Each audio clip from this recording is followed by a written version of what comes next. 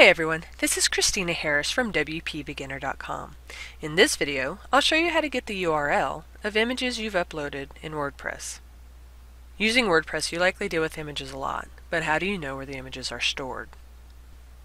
The easy way to find them is to log into WordPress, navigate to the Media Library section, hover over an image that is on your site and click Edit.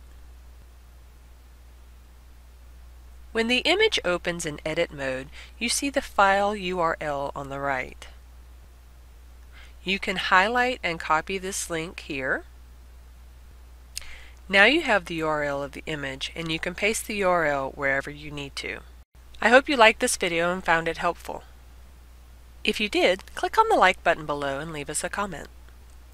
And if you want to receive more helpful videos, don't forget to subscribe to our channel and check out WP Beginner for more useful information on WordPress.